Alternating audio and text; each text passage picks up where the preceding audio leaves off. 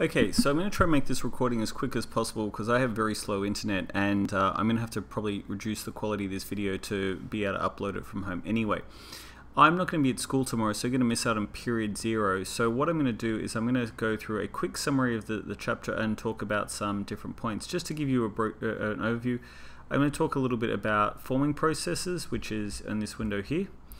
Uh, this is on, these videos are all on uh, Facebook and uh, if you're watching this in the future, hopefully that will be on my own website, but that's not yet. Um, this is the chapter. These relate to the chapter review questions at the end of the chapter. I'll come back to that, but just in case I don't forget, again, that should be on Facebook or hopefully one day a website. And what I'm going to go through is I'm going to. So one of the things I really want to focus on in this video is talking about uh, polymers. Okay, so here's what I'm going to do, just to give you a recap of the things that we have done so far. I'm going to go at pretty fast speed here. So, with historical developments, I would suggest you probably want to know two or so uh, historical developments. We discussed a lot in class. You wrote down detailed um, explanation of one of them. The effect on engineering and people's lives, we're going to talk about this more and more. Uh, this is something we keep referring to. Um, I love the uh, couple of Star Wars references we have here about feeling the Force, but I'm going to move on. So we've learned about SI units. I've given you a whole set of things called units of measurement, and we watched the uh, Eureka videos that explain that. By this stage, I think most people are familiar with giga and mega and kilo and milli. And uh, I've said that in this subject, you will need to, you won't need to know calculus, you won't need to know any real advanced maths. You'll need to know basic algebra and trigonometry. As long as you can do those things, you'll be okay. Now, what I usually set, and I may end up setting today, is um, just a set of trigonometry questions just to you to, for you to practice. We're not going to do vector addition in the week 7 test, or at least in 2019 we're not going to. So um, don't need to worry about applying any maths really in this test, which is not great because it's not a good indication of what this course will you know, require you to do. Not hard maths, but a lot of maths. Um, okay, so in terms of scalars and vectors, I would just say that we need to know that a vector has magnitude and direction. Oh yeah, um, I watched Alita this week, and um, in Alita there's also a character called Vector, but I don't know if he's cooler or less cool than uh, the one in Despicable Me. Okay, we talked about Newton's th three laws. Law 1 can be summed up by the word inertia. Law 2 can be summed up by F equals ma. Law 3 is the one that everyone knows. Every action is an equal and opposite reaction. You need to understand the concepts of mass, force, gravity, weight. You probably need to be able to um, give a definition of those, right? I haven't written the test yet, but that's the sort of thing you might want to know. Weight is just another force, so where force equals ma, weight equals mass times gravity, gravity being the acceleration. Um, gravity on Earth is 9.8, where it, we can get away with using um, 10 meters per second per second. Okay, simple machines, where really there are only two simple machines, the lever and the inclined plane. Screws are just a kind of inclined plane. Um, wheel, wheels, axles, uh, also I should put out axe heads um, and cutting, cutting blades are inclined planes. Wheel and axles uh, levers. Pulleys, well, they could be another class. If you go to Wikipedia, they'll say it's another class. I'm not going to do that in this video because I'm worried about time. But I would class them if I had to in the uh, lever category. Some Wikipedia classes them separately. Gears, I definitely would put in uh, levers. They're just continuous levers. Chain drives are very similar to gears. Um, we just have a look here. So we have a belt drive or something like that. So when I worked in the limestone mine, uh, I had to change a lot of conveyor belts. That was one of my main jobs. Okay, classification materials. I talk about, okay, first of all, at the atomic level, we need to know that everything is made of atoms. There are about 90 to 120 elements. Um, the elements are the different cl classifications. Everything's made of Lego blocks. There's only 90 or so 90 to 100 different Lego blocks that everything is made out of. Uh, these are the elements. Um, now we have compounds and solutions. We've talked about how that's a little bit of a murky grey area is what the different distinction is there. Solutions are what we talk about with alloys. Um, if you have a look on my uh, the picture that has picture of Dalton and Democritus, everything is made of atoms. At the end of that, I talk about uh, solutions. There, we are interested in interstitial solutions and um, substitutional solutions. Uh, you should know an example of each. For compounds, compounds are um, combinations of elements in a fixed ratio. NaCl is salt, H2O is water. We're going to talk more about those in a second. Um, and mixtures are any um, any combination of pure substances, either elements or compounds, in a mixed uh, uh in a non-spec non-specific ratio. Okay, so the reality is that we classify um, all materials as either metals or non-metals. When we talk about metals, we're going to talk more about this in a second. Metals can be grouped into ferrous and non-ferrous. We have ceramics. Um, okay, so within all other materials, we can classify materials in four groups. We talk about metals, and then we have ceramics, polymers, and composites. This book says biological, but all biological materials are composite materials. Now, this is something I want to talk about for today's lesson. You need to know about the properties of materials. This is what I'm going to be focusing on for you to look up is you need to be able to define strength, hardness, elasticity, and plasticity. I would say they're the good ones to know. I would also suggest that something I said for homework is durability. Now, um, these already have their own definitions. I will discuss this again when I see you next, but you should have be comfortable that you can provide a um, definition. I always like to point out that here, stress is the ability to withstand stresses, not loads. It's a minor uh, minor distinction between uh, Copeland and I, but uh, I think it's worth making. Hardness is the ability to resist scratching and indentation, but I would also say it's the ability to hold a sharpened edge. Um, toughness is a bit more of an interesting idea. We also talk about things like brittleness. Uh, so just in case I, uh, you know, use something, I try not to use things that are not on the list, but um, toughness and brittleness are measurements of how easily something shatters or something, how easily something breaks. Chemical properties, we just talk about corrosion, maybe UV resistance, not really relevant. Physical properties, I would suggest you don't need to worry about. Thermal properties, I think, are fairly obvious. You should know that um, most materials, ice being the uh, the exception, uh, they expand when they get hot and they contract when they get cold. This is a real issue for engineers, but not something we talk about too much. You just need to know that that fundamental concept. You need to know that metals conduct electricity. Everything else pretty much doesn't. Um, again, water being a, an interesting exception. You need to know about magnetism. There are pretty much you need to know that things with iron or nickel or cobalt are the only real things that really um, are magnetic. If you someone reminds me, I might put up a video on why things are magnetic. Not really too critical for this course. Okay, so for the basic chemistry that we need to know, this is really this and, and corrosion are the only two real chemistry concepts we need to know we um, in this course. So we need to know that everything is made of atoms, and atoms are made of three subatomic particles. That's not really the whole story. I have posted a link from Kurzgesagt that goes into much more detail, but you don't need to worry about that. You need to know that there's neutrons, protons, and that they live in the center of the atom. You need to know protons have a positive charge. You need to know electrons orbit around the, the nucleus in what we call shells, and that they have a negative charge. That's pretty much what you need to know. There are three states of matter, at least as far as we're concerned solids, liquids, and gases. You need to know that um, as the atomic energy, the amount of energy in an object uh, increases, the more likely they are to be a gas, the more likely they are to. Uh, so, solids hold their shape, liquids slide over each other and take the shape of their container, whereas um, gases fill up the entire. The, liquids hold the base of the container, and gases hold the entire shape of the container. Okay, we need to know about um, valencies and we need to know about valence electrons and as part of bonding. We have ionic bonding.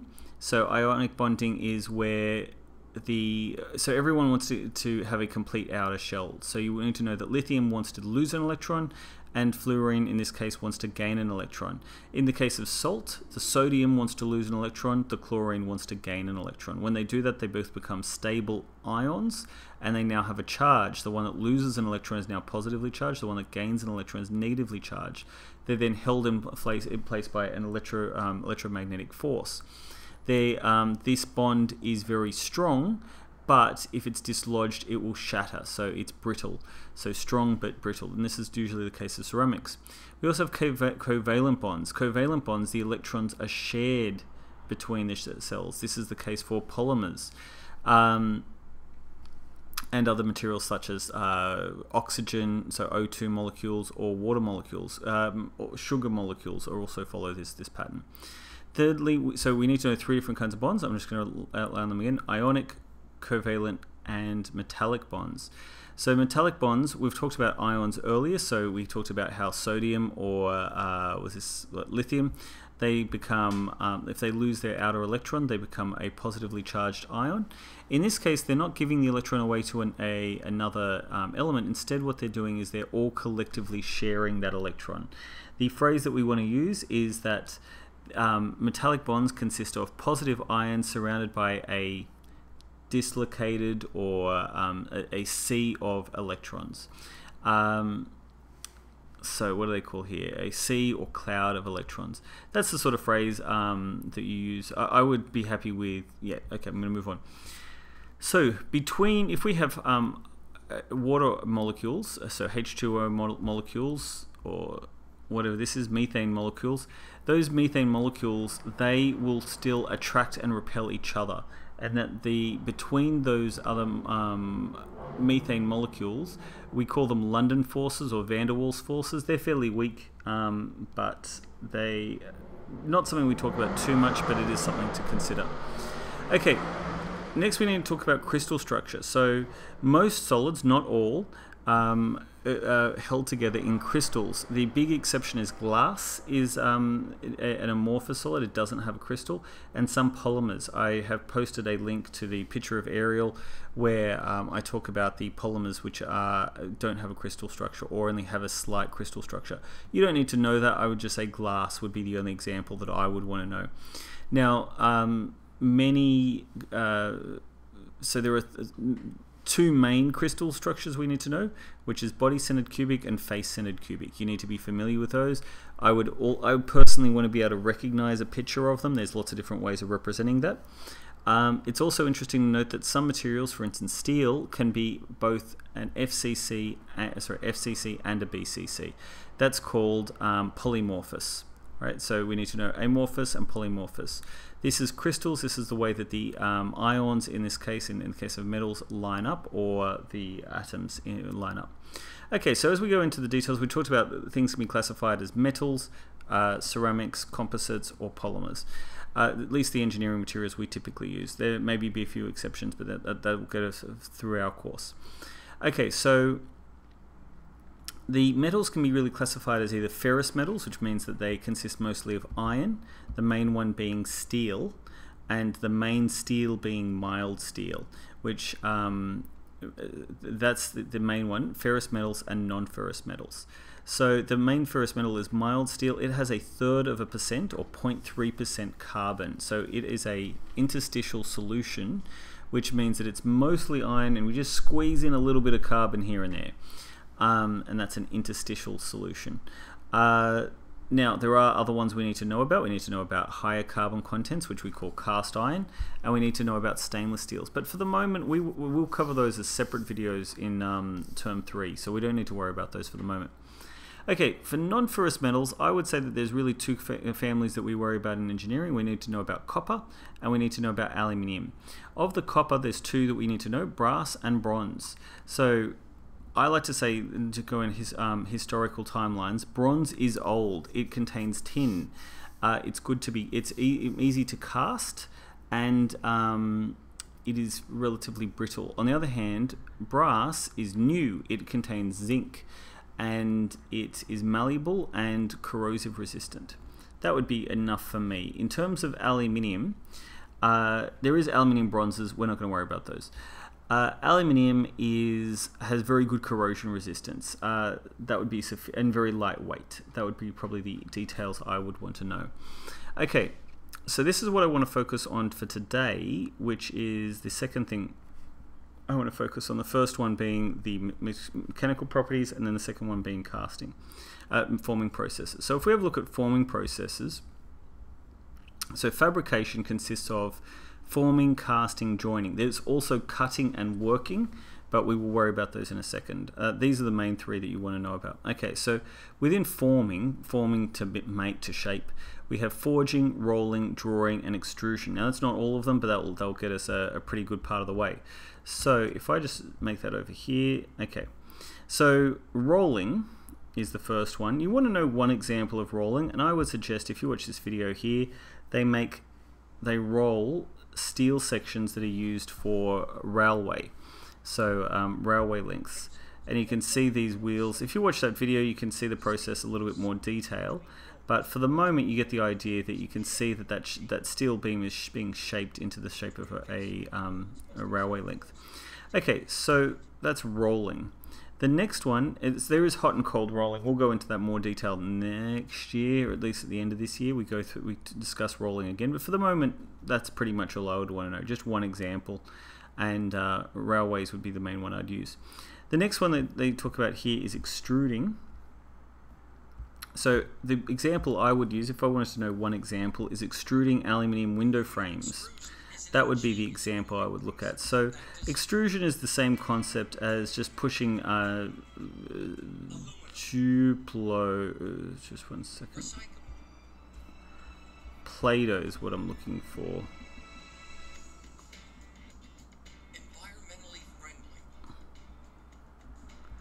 Okay. So that shape there of Play-Doh being extruded. Same concept as Play-Doh being extruded, but um, in this case we're using aluminium. Anyway, so that's a video that you can uh, watch in your own time.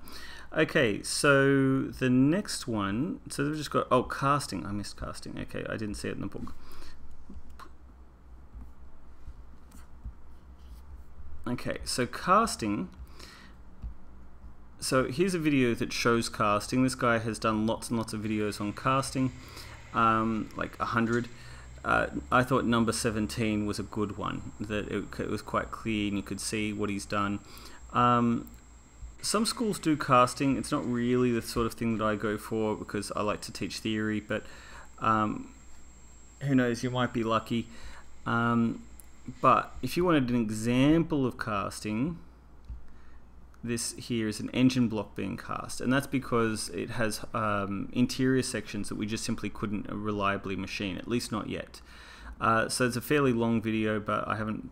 Uh, I know I did have a time stamp, but it hasn't seemed to have gone to that time stamp. So yeah, about here is about right. So we can see that that's the, the mold and then it's going to be cast into that shape. I'll leave that for you to watch. Okay, so they're the three that I would worry about. Um, worth mentioning as well, just as a, a, point so that I don't don't forget it. We will come back. To, we will definitely discuss it later. Damn, I lost it again. Is forging and um, forging, and the example I have there is wrenches and uh, or spanners is what we tend to call them in Australia. And if you have a look here, that's a video of some spanners being forged. Forging can be described as just hitting things really hard. You can, uh, often you heat it up first to soften it, but then you just hit it really hard and it just forms it into that shape. Okay, um, so. Okay, the next thing we have is welding, and um, which is a joining method. There is also cold joining, so we can you know use rivets or um, we can use rivets or bolts to join things. But typically, what we're interested in is I'm just trying to find my. Bear with me for a second.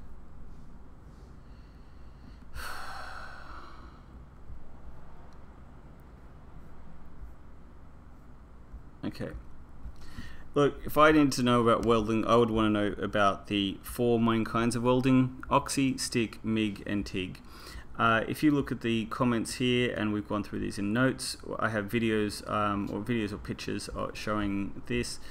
If you really wanted more details on welding, um, this guy here has a fairly interesting video. I think goes for like five minutes, uh, talking about the different kinds of welding.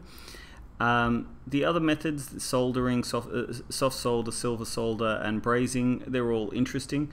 Uh, when we get to the HSC level, you will have to be able to draw this diagram of um, the grain structure of welds. We haven't talked about grain structures, so it's not really worthwhile me talking about it yet.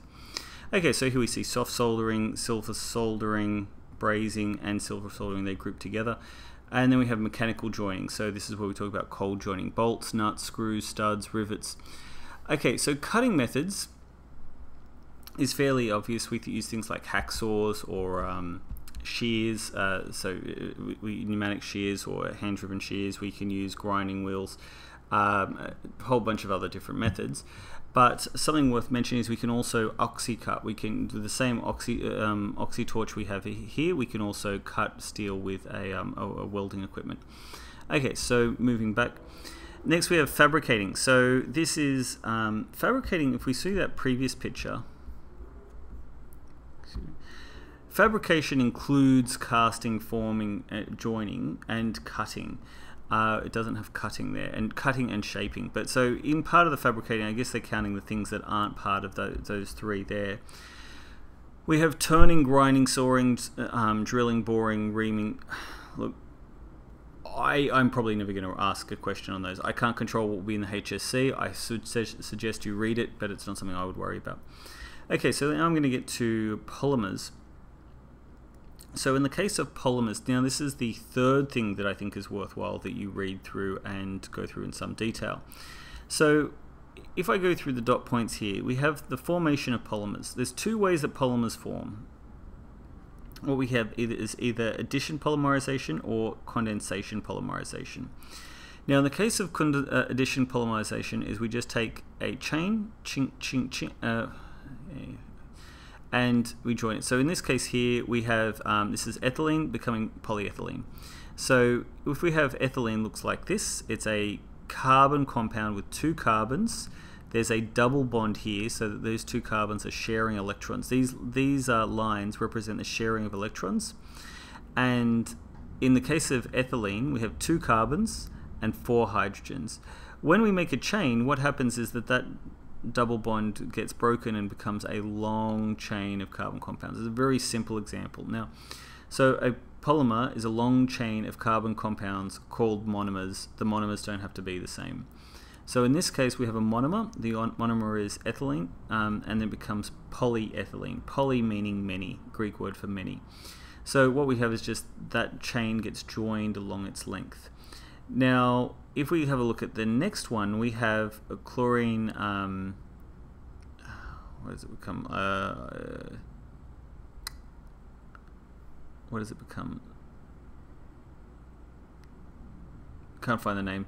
Chlorine acetate. I mean, I, I don't know why they picked such an un uncommonly used um, monomer.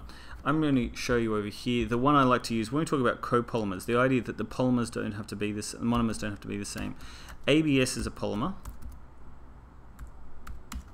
This is the one I always go to. It's a very commonly used one. It's used in Lego. Um,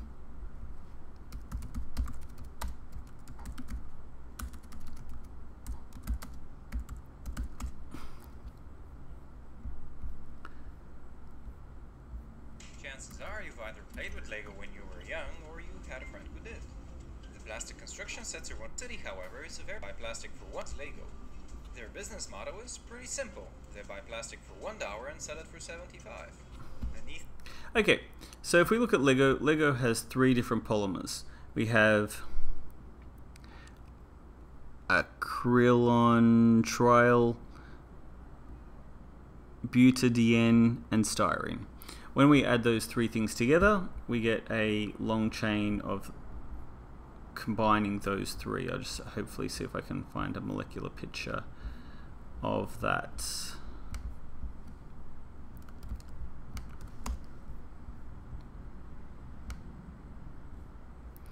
Okay, so that would be what it looks like, and that would just repeat over and over again when they combine. So it looks fairly complicated here, and um, so that's what they look like if we use the um, the building block method of representing uh, so that's another way of representing it. This is just a simplification. So I, I, did talk about in class that we don't have to show carbon and all the hydrogens, and this is a way we can simplify that. Um, atomic structure is what we want to look at. It would be nice to see the whole thing is, I guess that there would be is a representation of the atomic structure. And that one there. Anyway, so that's the, the triple monomer, you might call it. So A, B, and C in this case of the polymer. So if we go back to the book, we can see here we have A, B, A, B, we get A, B, A, B. They don't have to necessarily go in that order. Sometimes they go in random orders. We don't need to worry. So This is all called addition polymerization. Just we simply what we get in is what we get out. We also have condensation polymerization, which is where we add two different um, monomers, and what we produce is not exactly the same. Usually, typically, what we have getting added um, result added in addition is water. That's what's called condensation polymerization. So in this case, we have AAB. We have phenyl phenyl formaldehyde and that produces phenyl formaldehyde plus water. That's that's condensation polymerization. Um, it's not something I'd really go into in too much detail, but it's worth mentioning. Um, it's worth knowing one example. Phenylformaldehyde Bakelite is a very old plastic, um, a very historically significant um, plastic. Uh, not anymore, but uh, originally um, billiard balls were made out of Bakelite.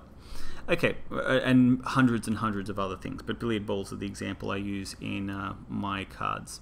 Okay, so with polymers, polymers can either be a thermoplastic or a, um, so also known as a thermosoftening polymer, or they can be thermosetting polymers. What that means is that if we, um, if I take a um, drink bottle and I fill it up with boiling hot water, depending on the properties of the material, I might get that plastic might start to melt or to soften under the, the plastic. Whereas other polymers, so for instance the Bakelite, the phenyl formaldehyde, they just burn, they don't melt. So the reason for that is when we have these chains, so this is the AAAAA chain, we can sometimes have cross-linking between those chains. So the example that I used in class is vulcanization so, of rubber. And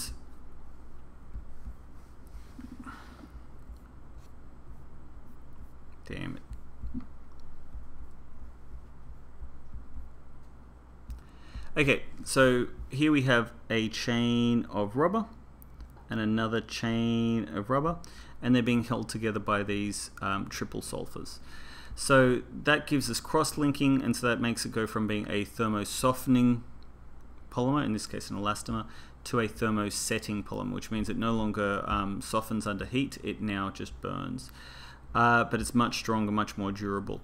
Uh, durability being the ability to withstand, um, corrosion, degradation, and um, to, uh, um, to the elements and um, bio and not biodegrade.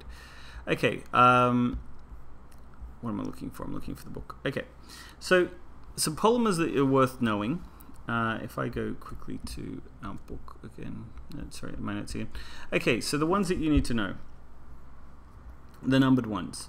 Number one is the thing that makes up drink bottles. Number two is bottle caps and various other things. Number three is um, PVC is just basically, it, it, I'm going to say light switches and conduits and pipes. Number four is shrink wrap. Number five, polypropylene, used in lots of things, um, but it's very um, fatigue resistant, so it can be used in lunch boxes with a natural hinge. Uh, it's used in the chairs, the blue chairs that we have at school, um, but lunch boxes are a really good example because of that natural hinge. Things like ketchup bottles, things that need to be squeezed a lot. Um, number six, polystyrene is used in um, plastic cups, plastic, uh, so plastic wine cups as well, not just the aerated polystyrene um, sorry, not styrofoam, like sort of packing pellets, but also uh, plastic wine glasses, plastic knives and forks, also um, set squares are polystyrene. Seven is everything else. So the main sevens that I would want to know, polyamide is um, Kevlar and nylon. ABS we talked about is Lego, uh, Rubik's cubes, shower heads, uh, 3D printers. Polycarbonate is he headlights. It's um, very, uh, very, very hard, so it's scratch resistant. It's relatively tough um, and very clear. Whereas um, PMMA, which is acrylic, which is what we use in Year 7 to make our pencil box lids, is um, very workable and it's used in tail lights. PLA is also used in 3D printing, but it's biodegradable. So I think it's polylactic acid. The two th three thermosets we need to know. So silicone and um, neoprene being elastomers because they have that softness. Uh, silicone with an E, not silicon. Silicon is the metal. Silicone with an E is the polymer. Um, polyurethane is used in fake leather. and phenylformaldehyde is Bakelite. So um, and also used like melamine, so like kitchen countertops, um, they're phenylformaldehyde. Okay, so let's go back here. So what we have here, we have ABS, nylon, polycarbonate. This is a numbered one, two, and four. It's so important. It's such a huge polymer. Polyethylene is numbered, got two numbers. The um, PMMA or acrylic. Um, polypropylene is number five. It's the, the next one after polyethylene in terms of its importance. Um, Teflon is considered a polymer. I always forget that one. It's not something I will probably likely to test you on. And PVC is number three. Uh, this student has added in those extra numbers. Not the clearest of notes, but uh, I'll, I'll take it as a reminder over not having it at all.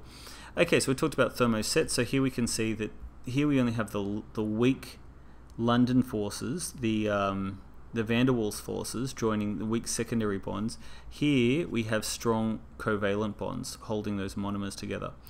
Okay, so we then talk about ceramics. So really, in this book, we don't talk too much about ceramics. It's worth noting that ceramics include a variety of things. I have um, some notes already on ceramics. So, uh, stone, clay products, cement products, glass products, abrasives, and electronics are the classifications. The one we're most interested in glasses and um, so I used the picture of April to uh, sorry um, Ariel to rem remember glasses. I don't know why that's not responding. And really, I probably am not likely to go through too much of this in your test, but um, by the end of the year, this is something that I will uh, will be testing you on in the exam at the end of year 11. So you need to know the most common glass is float glass. You, I would be worth knowing that toughened glass is used in um, passenger windows and laminated glass is used in um, windshields. The idea is that toughened glass, it's um, when it crumbles, it goes into uh, safe sharps, uh, um, shape, small granular chunks rather than jagged shards. So it's used in glass doors, shower screens, passenger windows. Laminated glass is used in windshields, skylights, and storefronts. You can see this video here where we see the effect of um, tempered or toughened glass. Oh, come on. Should... Boom! That's standard glass. So it's big jagged shards that kill people. I have a scar. I have three stitches from where I uh, thought it was a good idea to open a window um, just by forcing it. Tempered glass, you can see, makes small, safe, granular sharp. And then the laminated glass, boom, you can't, you just can't break through it. Right, so they've got to take quite a few attempts. The last one you can see is right on the edge. Oh, no, no, I take back. Okay, yeah, so it holds the chip for quite a while. Uh, okay, so that's pretty much what I'll go about there. So forming and shaping ceramics. Okay, so here we talk about there is something called slip molding and different ways. Like, I mean, we can talk about potter's wheels, how we make vases using a potter's wheel, like the movie Ghost. But it's not really something that I go into too much. We can talk about extruding bricks, but it's not something that you're likely to be tested on. By all means, read it. We're going to go through it in more detail in chapter in volume two, chapter two. So it's the Year 12 course. Okay, so composites. Finally, go through the details of composites. You need to know um, timber and concrete are the main two. I will talk about um, fiberglass in a second. So, fiberglass and carbon fiber. So timber is a composite. It's a natural composite. It's made of fibers and resin, the same as um, most fiber reinforced plastics. But so the fibers are made of cellulose and the resin is called lignin. Um, you don't need to know those things. You just need to say it's fibers and resin, um, which is the case uh, for other things. Uh, timber has interesting properties. It's it's um, easy to cut, easy to join. Uh, it's biodegradable. It's a form of carbon capture and storage, which means it's good for the environment in that regard. Um, it has very good strength to weight ratio. I think it's similar to steel in its uh, strength to weight ratio, but um, uh, don't quote me on that. That um, it's, but I, I, think it's, it's good strength to weight. It says here very excellent specific strength, strength to weight weight, weight ratio. Um, it does have problems that it um, biodegrades, so it means that it's not as durable. So, for instance, for bridges, it's eventually going to either burn or suffer from rot or the uh, or other things that mean that it's not good for structures that need to last hundreds of years. Um, and that the problem is that also it's a natural product, so that it means that it can have defects. It also can only grow to certain sizes, which is why if I go to this picture here, I have a picture of glulam where we just have pieces of timber that have been glued on top one on top of the other. We also have LVL, which is where we take thin sheets and we make um, our, our beams out of thin sheets all glued together. The advantage of that is that it gets around having the natural defects. If we have a knot hole, it's much less of a problem because even where there's one knot hole, the other, in this case, one, two, three, four, five, six, seven, um, so the other six pieces uh, make up, compensate for that. Um, and it also can be made to any length. So it's the advantage of um, of these engineered timbers, LVL and glulam. Uh, back to the book. So timber, we talk about concrete. Concrete is incredibly important um, engineering material. It's made of cement plus aggregates, which is um, sand and rocks. Uh, aggregate sounds a lot better than sand and rocks. Uh, in Australia, we usually use basalt, but we can use um, we can use a variety of different uh, different materials. I think granite is, is also commonly used. Um, okay, the last one is fiber reinforced plastics, which include um, so fiberglass is uh, where we use glass fibers, and it's in a plastic in a polymer resin or in um, carbon fiber can be used. So in this case, it's carbon fiber reinforced um, polymer. So uh, it's uh, pretty impressive that they can hold solid sh solid shape. So if we look at this material here, it's in one big solid shape. It can um, be shaped into position and shaped into a variety of different shapes. Very low, very lightweight, good, uh, excellent corrosion resistance. Um, good strength to weight ratio, good fatigue strength, a whole bunch of other um, positive properties. Okay, so that is all of chapter one except for communication. So, sketching, what we need to know is um, we need to understand the difference between orthogonal drawings and pictorial drawings. So, we need to know that in Australia, the top view is always drawn on top uh, so this is what this symbol represents, that this is what we use in Australia. We use first angle projection, not third angle projection. And we need to understand that with pictorial drawings that we can have, um, I'll go to the drawings here. So with pictorial drawings, we can have perspective drawings, which we don't use in, in engineering. That's more for architects. We use isometric and oblique. So perspective look the most natural, Isometric look a little bit less natural, but they are um, they're more accurate. We can measure off that drawing. And then oblique looks the least natural, but it's fairly easy to draw for simple shapes. When we get to, the problem with oblique is that um, oblique is great when we only have detail, like circles, for instance, in something that's hard to draw in one face. If we had to draw just one a shape with only one circle, that's easy to do. But when we have two circles, it's not so easy. Instead, we have um, we want to use isometric drawings. Now, I've gone into more detail on this previously, but the great thing about isometric drawings is we can buy isometric drawing templates.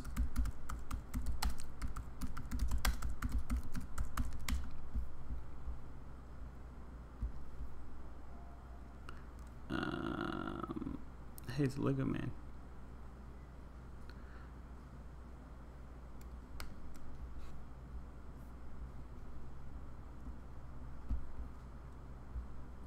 Oh, circle templates.